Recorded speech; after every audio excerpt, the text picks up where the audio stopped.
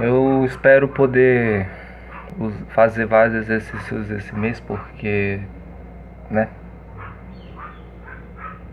O Xvideos não sai da minha vida. Nem o Pornhub, pornografia em si não sai da minha vida, assim como não sai da sua vida, ou talvez não, né? Porque eu não sei quem tá me olhando do outro lado, então talvez que você tenha uma vida normal, ou seja eu que fica desperdiçando energia por aí vendo casais fazendo alguma coisa que você nunca vai fazer. Ou talvez faça, ou talvez faça sem sentir nada em troca.